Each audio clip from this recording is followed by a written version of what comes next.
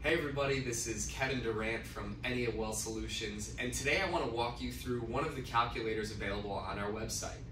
In the process, we'll also discuss the power that a mortgage refinance can have on interest savings over the life of the loan. The first thing you're going to want to do is navigate to that calculator section of our website and pull up the Can I Refinance My Mortgage calculator.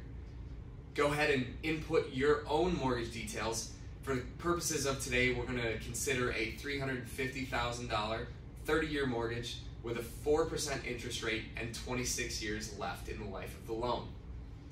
The proposed mortgage, we're going to also consider a three and a quarter interest rate with a 1% loan origination fee. We scroll down even further to the input and we see two different options for refinancing this mortgage.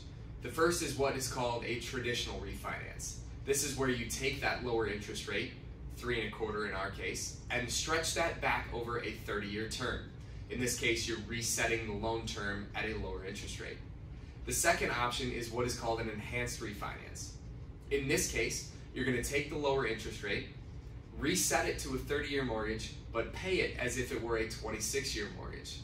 In the enhanced refinance option, you're going to spend a little bit more on the monthly payment than you would on the traditional 30 year mortgage, but you're going to have a shorter loan term and save about $45,000 over the life of the loan. $45,000 is a lot of money that you're not spending on vacations, maybe finishing a kitchen, and most importantly, money that's not being invested.